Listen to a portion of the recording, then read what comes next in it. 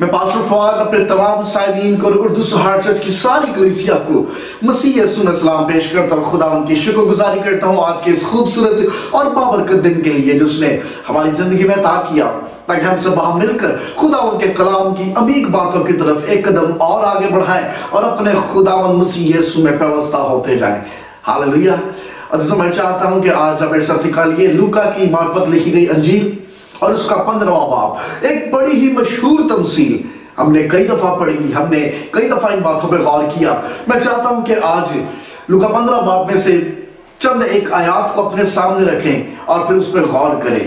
لوکا پندرہ باب اور اس کی آٹھویں، نویں اور دسویں آیت۔ خدا ان کے کلام میں لکھا ہے، یا کون ایسی عورت ہے جس کے پاس دس درم ہو اور ایک کھو جائے تو وہ چراغ جلا کر گھر میں جھاڑو نہ دے۔ اور جب تک مل نہ جائے، کوشش سے ڈھونڈتی نہ رہے۔ اور جب مل جائے، تو اپنی دوستوں اور پڑوسیوں کو بلا کر نہ کہے کہ میرے ساتھ خوشی کرو، کیونکہ میرا کھویا ہوا درہم مل گیا۔ میں تم سے کہتا ہوں کہ اسی طرح ایک توبہ کرنے والے گنہگار کے باعث خدا کے فرشتوں کے سامنے خوشی ہوتی ہے۔ خدا ان کے پاک کلام کے پڑھے سنے اور سمجھے جانے پہ اس کی خاص برکت ہو۔ آمین۔ عزیزو، اس سے پہلے کہ ہم خدا ان کے کلام کی طرف قدم بڑھائیں، میں چاہتا ہوں کہ آئیے کچھ پل کے لیے ہم سب اپنے سروں کو چکائیں اور اپنی آنکھوں کو بند کر اپنے آپ کو خدا ان کا کلام رسیم کرنے کے لیے تیار کریں۔ زندہ مہربان آسمانی باپ، یسو جی ہم دل کی گہرائیوں سے شکو گزاری کرتے ہیں۔ آج کے اس وقت کے لیے، اس موقع کے لیے، اس پل کے لیے اور اس خوبصورت بابرکت اور تسلی بخش کلام کے لیے۔ خدا یسو جی اپنے کلام کی باتوں کو کھول کے، اپنے بچوں کو تسلی دیجیے، قوت دیجیے، زور دیجیے اور دلوں کی آنکھوں کو روشن کیجیے، چھوئیے اور بلیس کیجیے اور بڑی برکت دیجیے خدا مند یہ سب کچھ مانگتے ہیں، مسیح یسو کے زندہ جلالی، اور قدوس نام میں۔ آمین۔ عزیز جب ہم لوکا کی انجیل کا مطالعہ کرتے ہیں تو یاد رکھیے گا کہ اگرچہ لوکا کی انجیل میں متی اور مرکز سے ملتے جلتے واقعات درج ہیں، لیکن چند ایک باتیں ایسی ہیں جس کا ذکر ہمیں نہ تو لوکا کی انجیل، نہ تو متی کی انجیل میں ملتا ہے، نہ مرکز کی انجیل میں۔ بلکہ فقط لوکا نے ہی ان باتوں کو سامنے رکھا، اس کی وجہ یہ تھی کہ لوکا کا رائٹنگ سٹائل اور لوکا کے سامنے جو آڈینس تھی، یہ بڑا ضروری تھا۔ جب ہم لوکا کی انجیل کا تفصیلی مطالعہ کرتے ہیں تو ایسا لگتا ہے کہ جیسے لوکا نے ایک سفر نامہ لکھا ہے۔ خداون یسو مسیح کا سفر نامہ اور اس سفر کے دوران جو کہ یروشلم کی طرف تھا۔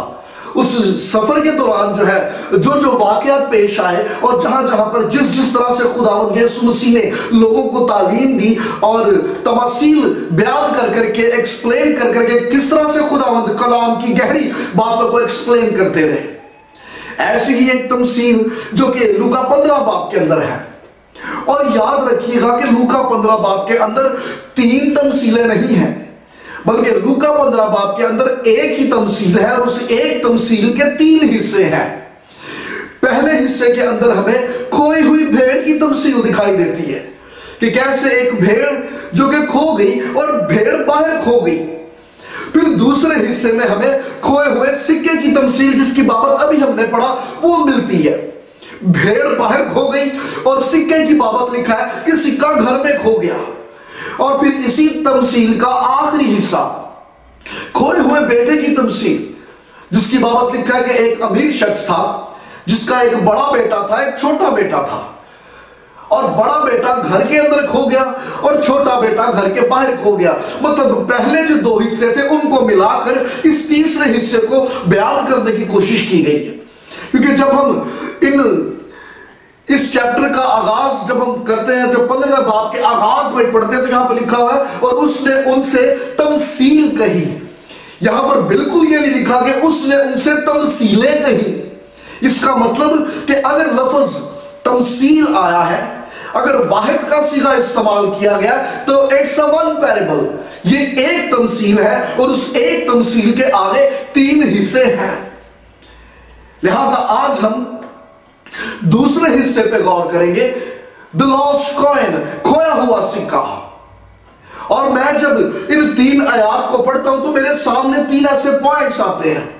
سب سے پہلا پوائنٹ پرپز دوسرا پوائنٹ پلان اور تیسرا پوائنٹ پریز تعریف شکر گزاری ورش ہم سب سے پہلے پہلے نقطے پہ بات کریں گے پرپس مقصد. مطلب اتنی بے چینی سے، اتنی بے قراری سے کھوئے ہوئے سکے کو تلاش کرنے کا مقصد کیا تھا؟ بھئی نو سکے تو آپ کے پاس ہی ہیں۔ اگر ایک دسواں سکہ نہ بھی ملے تو اس میں کیا حرج ہے؟ اس سے پہلے کہ ہم اس نقطے پہ غور کریں، میں چاہتا ہوں کہ اس دور میں چلنے والی کرنسی کے اوپر تھوڑا غور کر لیا جائے کوئی تھوڑا اس کی بابت بات کر لی جائے۔ اس کلچر میں، اس دور میں مختلف کرنسی چلتی تھی مارکیٹ میں، اور ہیکل میں استعمال ہونے والی کرنسی ڈیفرنٹ تھی۔ اس وقت جو سب سے کم ویلیو رکھنے والا سکہ تھا، اس کو لیپٹون کہا جاتا تھا، جس کا اردو ترجمہ ہمارے پاس دمڑی ہے۔ آپ کو ایک واقعہ یاد ہوگا جب ایک بڑی بیوہ نے ہیکل کے اندر دو دمڑیاں ڈالی تو مسیح یسو نے کہا کہ اس نے سب سے زیادہ دیا۔ مطلب وہ دمڑی جسے لیپٹون کہا جاتا ہے، وہ سب سے کم ویلیو رکھنے والا سکہ تھا۔ مطلب اس کے، اس سے نیچے اور کوئی سکہ اور کوئی کرنسی ہے ہی نہیں تھی۔ اور اگر چار لیپٹون ہو تو وہ چار لیپٹون مل کے ایک کوانڈرن بنتا ہے، جس کا اردو بائبل میں ترجمہ ہمارے پاس پیسہ آیا ہے۔ جب ہم لوکا بارہ باپ پڑھتے تو وہاں پہ خدا یسو مسیح نے ایک تمثیل پیش کی تھی۔ کیا دو پیسے کی پانچ چڑیاں نہیں آتی؟ مطلب چار لیپٹون مل کے ایک کوانڈرن بنتا ہے مطلب ایک پیسہ بنتا تھا۔ اور پھر ویسے ہی چار پیسے مطلب چار کوانڈرن مل کے ایک ریان بنتا تھا۔ ریان جس کا اردو ترجمہ ہمارے پاس پائی آیا ہے۔ ایک موقع پہ خداوند یسو مسیح نے کہا کہ اگر کسی شخص کا کسی سے جھگڑا ہو جائے اس کے لیے مناسب یہ ہے کہ وہ راستے میں ہی اپنے مدعی سے صلح کر دے ورنہ جب تک پائی پائی ادا نہ کر دے گا ہرگز نہ چھوٹے گا۔ تو چار کوانڈران مل کے ایک ریان بنتا تھا جس کا اردو ترجمہ ہمارے پاس پائی آیا ہے۔ اور چار ریان مل کے ایک سسٹرشیا بنتا تھا۔ سسٹرشیا کا بھی اردو ترجمہ ہمارے پاس پائی ہی آیا ہوا ہے۔ اور ایسے ہی چار سسٹرشیا مل کے ایک دینار بنتا ہے۔ ایک دینار کہہ لیں یا اس کو ایک دراکمہ کہہ لیجیے۔ اور ویسے ہی چار دینار یا چار دراکمہ مل کے ایک مسکال بنتا ہے۔ اور مسکال وہ کرنسی تھی جس کا ہیکل میں استعمال کیا جاتا تھا۔ کیونکہ باقی سکوں کے اوپر جو تھی وہ شبی ہوتی تھی، حاکم وقت کی، اس لیے وہ ہیکل میں ممنوع تھے۔ ہیکل کے اندر مشکال چلتے تھے مطلب ہیکل میں ہدیہ ڈالنے کے لیے جو چندہ تھا، وہ ایکسچینج کروانا پڑتا تھا اور پھر جا کے مسکال لے کے اس کو ڈالنا پڑتا تھا۔ ہاں لیپٹون جسے، جس کا ترجمہ دمڑی کیا گیا، اس کے اوپر ہاتھ میں وقت کی شبی نہیں تھی کیونکہ وہ سب سے لو کرنسی تھی، اس کی ویلیو سب سے کم تھی۔ اس لیے اس سکے کے اوپر وہ شبی نہیں تھی۔ چونکہ اس کے اوپر شبی نہیں تھی، اس لیے وہ ڈال دیا جاتا تھا۔ اور جب ہم اس پیسج پہ غور کرتے ہیں، تین آیات پہ غور کرتے ہیں، اس عورت کے پاس دس سکوں کا ایک ہار تھا، جس میں سے ایک سکہ کھو گیا۔ And she is very upset she is very disturb لیکن غور طلب بات یہ ہے کہ یہ ڈسٹربنس کیسی ہے؟ یہ پریشانی کیسی ہے؟ نو سکے تو آپ کے پاس ہے اگر نو میں سے ایک کھو بھی گیا، تو کوئی مسئلہ نہیں، مل جائے گا بعد میں، اتنی بے چینی اور بے قراری کیا ہے؟ جب ہم تھوڑا تاریخ کا مطالعہ کرتے ہیں ہسٹری کو دیکھتے تو سمجھ آ جاتی ہے کہ یہ خاتون اتنی اپسٹ کیوں تھی ایک سکے کے کھو جانے سے۔ کیونکہ اس ایک سکے کے کھو جانے میں اس کی عزت کا سوال تھا۔ اس دور میں، اس کلچر میں، جب کسی لڑکی کی شادی طے ہو جاتی جب کسی لڑکی کی منگنی ہو جاتی، تو سسرال کی طرف سے تحفے اور تحائف ملتے، کپڑے ملتے اور جہاں پر بہت ساری چیزیں ملتی، وہاں پر رسمی طور پر دس سکھوں کا یہ پرویا ہوا ہار بھی ملتا۔ اور یہ خاتون جس کا رشتہ طے ہو جاتا، وہ جب جب بازار جاتی یا عزیزوں کو ملنے کے لیے گھر سے باہر نکلتی لازمن اس دس سکھوں والے ہار کو اپنے ماتھے پہ باندھتی، جو اس بات کی نشانی ہوتی now she is engaged. اب اس خاتون کا رشتہ طے ہو چکا ہے۔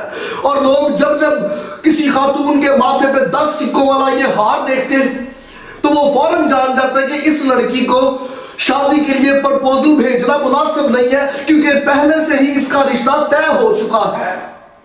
یہ دس سکوں کا پرویا ہوا ہار، اس خاتون کا اپنے شوہر کے ساتھ ایک وفاداری کا نشان تھا، اس کے ساتھ ایک رشتے میں بند جانے کا نشان تھا۔ لیکن اگر کوئی خاتون رشتے میں بند جانے کے بعد بھی کسی نجائز سمبند میں پکڑی جاتی، کسی انلیگل افیئر میں پکڑی جاتی، تو سزا کے طور پر اس لڑکی کے اس ہار میں سے ایک یا دو سکوں کو توڑ دیا جاتا، جو اس کی بے وفائی کا ثبوت تھا، جو اس بات کا ثبوت تھا کہ یہ لڑکی اپنے شوہر کے ساتھ اپنا رشتہ نبھا نہیں پائی، جس کی وجہ سے اب اس کا ہار ادھورا ہے۔ اور یہی وجہ ہے کہ جب اس خاتون کے ہار میں سے ایک سکہ کھو گیا، تو اس میں اس کی عزت کا سوال تھا۔ ارے، لوگ اس کے کریکٹر پہ شک کریں گے۔ لوگ اس کے وفادار ہونے پہ شک کریں گے۔ لوگ باتیں کریں گے کہ شاید اس لڑکی نے اپنے شوہر کے ساتھ رشتہ نہ نبھا سکی۔ یہ با وفا ثابت نہ ہوئی۔ جس کے سبب سے دیکھو، اس کا ہار ادھورا ہے۔ اور یہی ریزن تھا، یہی سبب تھا کہ جب اس کے ہار میں سے ایک سکہ کھو گیا شی از اپسٹ شی از ڈسٹرب ارے، اس کو بے چینی چھڑ گئی۔ اور جب تک اس کو وہ سکہ مل نہ گیا، یہ اس کی تلاش میں لگی رہی۔ لیکن غور طلب بات یہ ہے، یہ سکے کیسے کھو جاتے ہیں؟ یہ سکہ گھر سے باہر نہیں، بلکہ گھر کے اندر ہی کھو گیا۔ یہ گھر میں تو ہے، لیکن کھویا ہوا ہے۔ یہ کھو گیا ہے۔ یہ کبھی ایک خوبصورت ہار کا حصہ تھا۔ اس کی خوبصورتی تھی اس کی ویلیو تھی لیکن کھو جانے کے بعد خوبصورتی جاتی نہیں ویلیو جاتی نہیں ارے، یہ کیسے کھو گیا؟ ایک وجہ ہو سکتی ہے کہ یہ ہار چکے، یہ سکہ چکے ہار کے ساتھ بڑی خوبصورتی سے بند آ گیا تھا۔ وقت کے ساتھ آہستہ آہستہ کہیں وہ گرا، ڈھیلی پڑ گئی۔ اور ایک دن وہ گرا ایسی ڈھیلی پڑی کہ یہ چپکے سے اس ہار میں سے نکل گیا، اس فیلوشپ میں سے نکل گیا اور کھو گیا۔ وہ ایسے ہی ہوتا ہے آج بھی متھیرے ایمانداروں کے ساتھ۔ ارے غور کیجیے، یہ سکہ جو کھو گیا، یہ گھر کے باہر نہیں بلکہ گھر کے اندر ہی کھو گیا۔ خداون کے ساتھ رشتے میں ہوتے ہوئے، وقت کے ساتھ ساتھ آہستہ آہستہ پتھیرے نجات یافتہ لوگوں کی پتھیرے ایماندار لوگوں کی گرا ڈھیلی پڑتی جاتی اور آہستہ آہستہ وہ کٹتے کٹتے ایک روز پورے طور سے کٹ جاتے اور کھو جاتے ہیں۔ لیکن افسوس کی بات، ارے یہ باہر نہیں، یہ تو گھر میں ہوتے ہوئے کھو جاتے ہیں۔ چرچ میں ہوتے ہوئے کھو جاتے ہیں۔ دعائیں کرتے، گیت گاتے، کلام سنتے سنتے بھی کھو جاتے ہیں۔ ہمیں یہ لگتا تھا کہ وہ لوگ جو فیلوشپ نہیں کرتے۔ ارے وہ لوگ جو خداوت کے گھر میں نہیں آتے، وہ لوگ جو دعا نہیں کرتے، ارے صرف وہی لوگ کھوئے ہوئے ہیں۔ خداوت کا کلام بتاتا ہے، ان کے علاوہ وہ لوگ بھی کھو جاتے ہیں جو فیلوشپ کا حصہ ہوتے ہیں۔ ارے وہ لوگ بھی کھو جاتے ہیں جو بڑی وفاداری سے خداوت کے گھر میں آتے جاتے دکھائی دیتے ہیں۔ وہ گھر میں تو ہوتے ہیں لیکن کھوئے ہوئے ہوتے ہیں ارے ایسا شخص جو بڑی دعائیں کرتا ہو پھر اسی زبان سے گالی گلوچ بھی کرتا ہو، ایسا شخص کھویا ہوا ہے۔ ارے ایسا شخص جس کو یہ لگتا ہے کہ وہ پاک روح کے کنٹرول میں ہے، لیکن اپنا غصہ اس کے کنٹرول میں نہ ہو، ایسا شخص بھی کھویا ہوا ہے۔ ارے ایسا شخص جو بڑی وفاداری سے خداوند کی حضوری میں اٹھتا بیٹھتا ہو خداوند کے لوگوں کے ساتھ میل ملاپ رکھتا ہو لیکن اپنی طرز زندگی میں کوئی بدلاؤ نہ آئے ایسا شخص بھی کھویا ہوا ہے ارے یہ گھر میں ہی کھو گئے ہیں یہ گھر میں ہی کھو گئے فیلوشپ کا حصہ ہوتے ہوئے کلام پڑھتے سنتے سناتے گیت گاتے ہوئے بھی کھو گئے یہ سکہ ایک خوبصورت رفاقت میں تھا جب یہ فیلوشپ میں تھا اس کی خوبصورتی تھی اس کی ویلیو تھی لیکن جو کٹ گیا ویلیو جاتی رہی خوبصورتی جاتی رہی ارے ویسے ہی وہ لوگ جو جب تک خداوند کے ساتھ رشتے میں بندے ہیں، زندگی خوبصورت ہے۔ لیکن جیسے ہی رشتے کی یہ گرا آہستہ آہستہ ڈھیلی پڑتی گئی اور پھر چھوٹ گئی فیلوشپ خوبصورتی بھی جاتی رہتی ہے بیوٹی بھی جاتی رہتی ہے۔ لیکن میں جب اس پیسج کو پڑھتا ہوں تو میں خداوند کی شکر گزاری کرتا ہوں، کیونکہ اس لڑکی کی طرح ہمارا خداوند ارے وہ بھی کھوئے ہوں کو ڈھونڈ رہے اور نجات دینے آیا ہے۔ وہ جو کھو گئے ہیں، چاہے وہ گھر میں کھو گیا ہو، چاہے وہ گھر سے باہر کھو گیا ہو، ارے آپ کے لیے خوشی کی خبر یہ ہے جیسس از کمنگ ارے خداوند یسو مسیح، آپ کی متلاشی ہے، آپ کی تلاش میں ہے، کیونکہ وہ کھوئے ہو کے پیچھے جاتا ہے۔ وہ خاموش بیٹھ کر انتظار نہیں کرتا۔ ہاللویہ اس تمثیل میں ہمیں پتہ چلتا ہے کہ یہ لڑکی خاموش نہیں بیٹھی۔ یہ بیٹھ کے آنسو نہیں بہاتی رہی، افسوس نہیں کرتی رہی۔ اس نے فوراً ایکشن لیا، کیونکہ اس میں اس کی عزت کا سوال تھا۔ ارے ویسے ہی ہمارا خداوند مسیح یسو ناصری، وہ اس لیے کھوئے ہو کی تلاش میں نکلتا ہے کیونکہ اس کی رسپیکٹ اس کی عزت کا سوال ہے۔ ارے آپ کے نام کے ساتھ اس کا نام جڑا ہوا ہے۔ It's a matter of his respect اس کی عزت کا سوال ہے اس لیے وہ پیچھے جاتا ہے اور وہ ڈھونڈ کر واپس لاتا ہے ہاللویہ پہلی بات تھی پرپز مقصد تھا اس تلاش کے پیچھے میٹر آف آنر عزت کا سوال تھا دوسری بات پلان خدا ان کا کلام بتاتا ہے کہ یہ لڑکی خاموش چپ چاپ بیٹھ کے روتی نہیں رہی دکھ نہیں کرتی رہی، افسوس نہیں کرتی رہی، بلکہ اس نے سرچ پلان ڈیزائن کیا۔ اس نے اس کو تلاش کرنے کا منصوبہ باندھا۔ خدا کا کلام یہ بتاتا ہے کہ چراغ چلایا گیا۔ مطلب یہ سکہ ایسی جگہ پر کھو گیا تھا جہاں پہ تاریخی تھی، اندھیرا تھا۔ اور بنا چراغ جلائے، اس سکے کو تلاش کرنا ناممکن تھا۔ یہ سکہ جو اس رفاقت سے الگ ہو گیا، تاریکیوں اور اندھیروں میں چلا گیا۔ اب اس تاریکی میں سے یہ سکہ خود بخود نہیں نکل سکتا۔ یہ سکہ اس لائق نہیں، اس قابل نہیں کہ خود اپنے لیے واپسی کا راستہ تلاش کرے۔ اس کے پیچھے جانا پڑے گا۔ چراغ چلانا پڑے گا۔ تاکہ اس کے ارد گرد سے تاریکی جاتی رہے ارے اس کے اوپر نور چمکے۔ اس کی حالت واضح ہو جائے اور اس کو واپس لایا جائے، واپس پھر اسی فیلوشپ میں رکھا جائے۔ ارے ویسے ہی خداوند کا یہ کلام ہے ان لوگوں کے لیے جو کھو جاتے ہیں۔ کیونکہ جو کھو جاتا ہے وہ تاریکیوں کا شکار ہوتا ہے، روحانی تاریکیوں میں گرفتار ہو جاتا ہے۔ اور ایسا شخص جو روحانی تاریکیوں میں گر جاتا ہے وہ خود سے باہر نکلنے کی قوت نہیں رکھتا ارے اس کو باہر نکالنے کے لیے کلام کا چراغ جلانا پڑے گا۔ یہ کلام کی روشنی میں اس کو، اس کی حالت واضح کرنی پڑے گی تاکہ پھر سے وہ اس تاریکی سے نکلے اور نور کا فرزند بن جائے۔ ہاللویہ یہ بچاری لب دی رہی۔ منجیاں تھلے، پیٹیاں تھلے۔ اس دور میں کچے مکان ہوا کرتے تھے، کچی چھتیں ہوتی تھی کچی دیواریں اور کچے فرش ہوتے تھے۔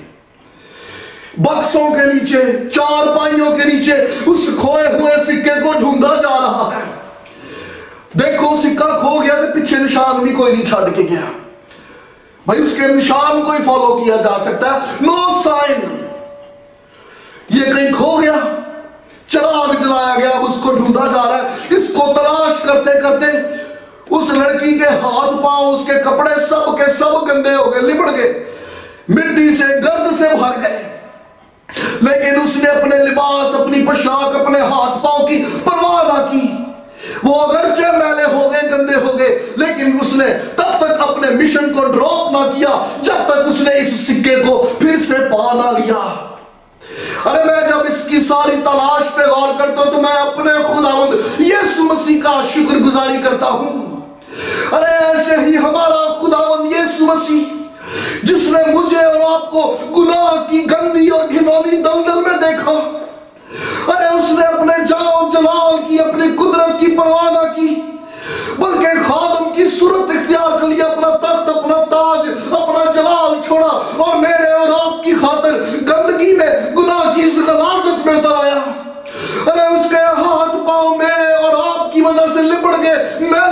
میلے ہو گئے، لیکن اس نے بیچ میں اپنے مشن کو ڈراپ نہ کیا، بلکہ تب تک میرے اور آپ کی تلاش میرا جب تک اس نے ہمیں پا نہ لیا اور جب اس نے ہمیں پا لیا، پھر سے اس نے ہمیں اسی فیلوشپ کا، اسی رشتے کا حصہ بنا دیا۔ حاللویہ ارے میرے اور آپ کی خاطر خداون یسو مسیح اس گناہ میں اتر گیا۔ اس کے ہاتھ پاؤں اگرچہ اس گناہ کے سبب سے میلے کچیلے ہو گئے۔ لیکن ان سب کی پرواہ نہ کرتے ہوئے اس نے اپنے مشن کو جاری رکھا اور تب تک جاری رکھا جب تک میں نے اور آپ نے نجات کو نہ پا لیا۔ حاللویہ اگلی بات اس دور میں سکوں کے اوپر شبی ہوا کرتی تھی۔ اچھا یہ غور طلب بات ہے کہ اس دور میں جب لڑکیوں کا رشتہ طے ہو جاتا تھا تو اگر تو فیملی امیر ہوتی تھی۔ تو وہ اپنی دلہن کے لیے سونے کے سکوں کا ہار تیار کرواتی تھی اور ان سکوں کے اوپر دلہا کا نام لکھوایا جاتا تھا۔ تاکہ اٹھتے، بیٹھتے، چلتے، پھرتے، جب جب یہ اس ہار کو پہنے اور دیکھے، اس کو اپنے دلہا کی یاد ہے اس کا فوکس اپنے دلہا کی طرف بنا لے جو میڈیم کلاس کی فیملیز ہوتی تھیں، وہ سونے کے سکوں والا ہار تو برداشت نہیں کر سکتے تھے ہاں لیکن چاندی کے سکوں کا ہار وہ ضرور بنواتے تھے۔ اور بعض لوگ تو جو ہاتھ میں وقت کی شبی ہوتی تھی اسی کو رہنے دیتے، لیکن بعض لوگ اس کے اوپر دلہا کا نام لکھوایا کرتے تھے۔ اور اگر تو کوئی لو کلاس فیملی ہوتی، تو وہ جو مارکیٹ میں نارمل سکے چلتے تھے، اسی کو پرو کر رسمی طور پہ ہار بنا کے اپنی دلہن کو پہنا دیتے تھے، اور ان نارمل سکوں کے اوپر ہاتھ میں وقت کی شبی ہوتی تھی۔ اب اندازہ کیجیے جب یہ سکہ ہار سے کٹا اور تاریکی اور اندھیروں میں چلا گیا، دھول اور مٹی اور گرد میں جا بیٹھا۔ تو اس دھول، مٹی اور گرد کی وجہ سے اس سکے کے اوپر جو حاکم وقت کی شبید تھی، وہ دھندلی سی پڑ گئی۔ اس دھول اور مٹی کے سبب سے یہ پہچاننا بالکل مشکل تھا کہ اس سکے کے اوپر کون سے حاکم وقت کی شبیہ ہے۔ مطلب گرد نے، دھول نے اور مٹی نے اس ساری شبیہ کو تہ کے نیچے دبا دیا۔ اور جب اس لڑکی نے اس سکے کو تلاش کر دیا اس کو صاف کیا تاکہ میں وقت کی شبی پھر سے واضح ہو جائے، اس کی چمک، اس کی بیوٹی پھر سے بحال ہو جائے اور پھر سے اس نے اس کو اس خوبصورت ہار کا حصہ بنا دیا۔ بالکل یہی کام ہمارے آسمانی باپ خدا مند یسو مسیح نے کیا۔ ارے وہ میرے اور آپ کی تلاش میں تب تک رہا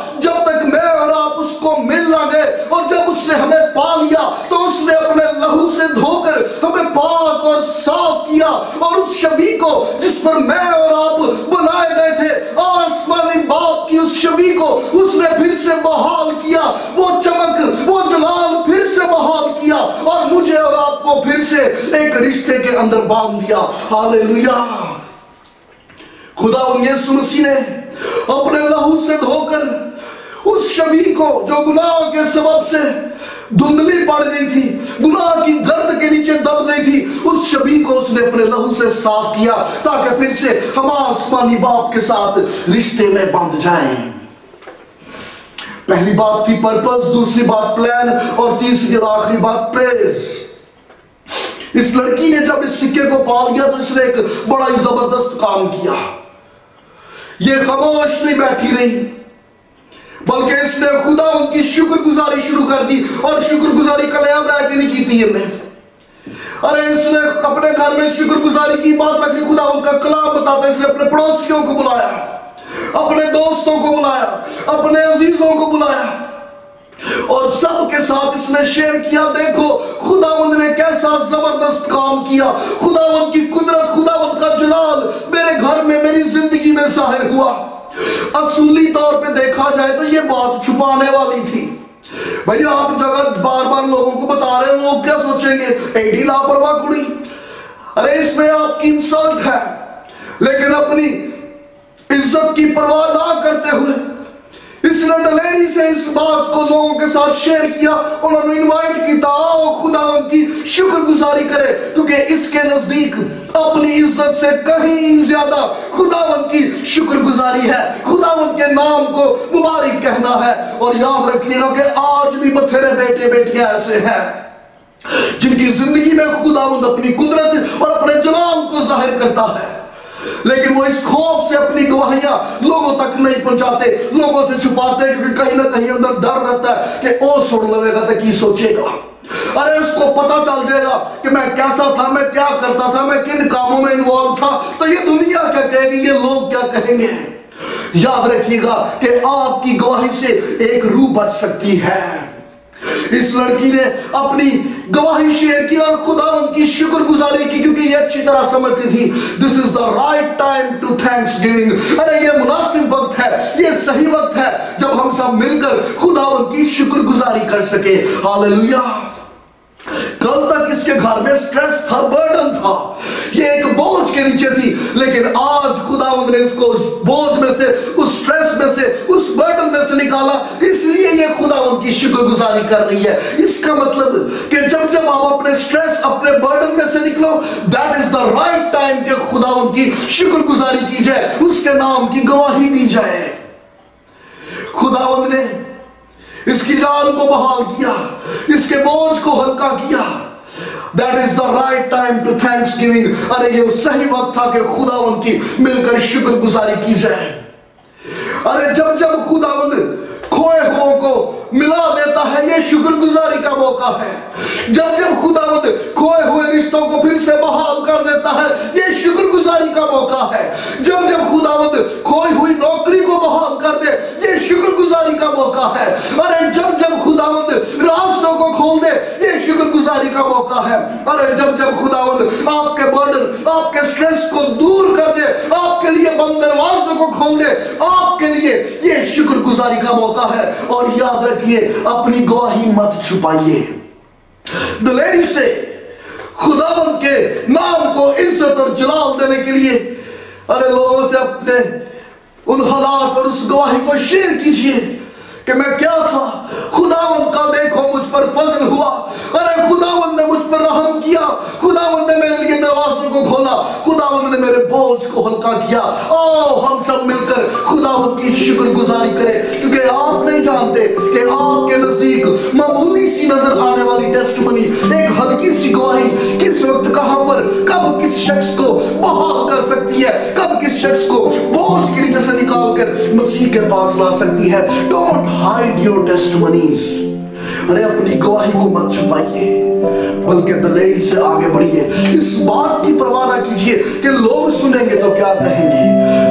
یاد رکھیے گا کہ یہ باتیں ابلیس کی طرف سے ذہن میں آتی ہے کہ لوگ سنیں گے تو انسلٹ ہوگی، حقیقت تو یہ ہے کہ لوگ سنیں گے تو وہ میرے اور آپ کے خداوند کی تمجید کریں گے اور خداوند کی شکر گزاری کریں گے کیونکہ آپ کی گواہی بتھیری جانوں کے ایمان کو تقویت دیتی ہے اور مضبوط کرتی ہے۔ ہاللویہ آئیے ہم سب اپنے سروں کو جھکائیں ہم سب اپنی آنکھوں کو بند کریں اور خداوند کی شکر گزاری کریں۔ اے آسمان اور زمین کے خالق اور مالک زندہ جلالی آسمانی باپ۔